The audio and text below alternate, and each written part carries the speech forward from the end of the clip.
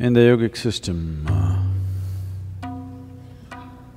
the time between summer solstice and winter solstice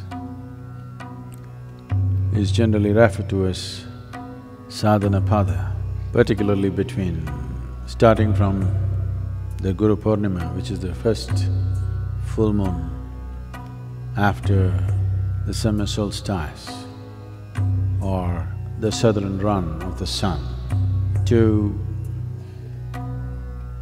the winter solstice or a few days after that till probably 4th of January or 4th or 5th of January, this phase is referred to as sadhana pada or time to do sadhana.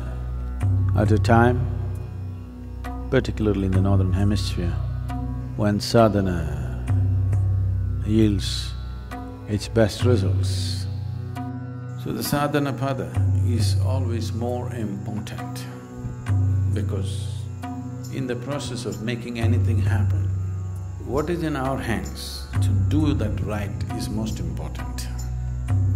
What is not in our hands, we only have to wait. When we say sadhana, we are talking about things which are in our hands. We can do something about it. And that becomes important because it is in our hands. We've always been talking about this in so many ways.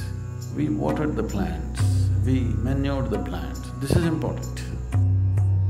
Flower happened, that's not your doing, that will happen as a consequence. I'm like manure, no? Manure, but if you sink your roots into me, for sure you will flower. No, don't try to manure, it doesn't work, you have to sink your roots into it. Manure doesn't look like flower, doesn't smell like flower, but for sure a plant will flower, isn't it? That's all you have to do. This year, Sadhguru is offering volunteers the possibility to spend sadhana pada at the powerfully consecrated space of the Isha Yoga Center.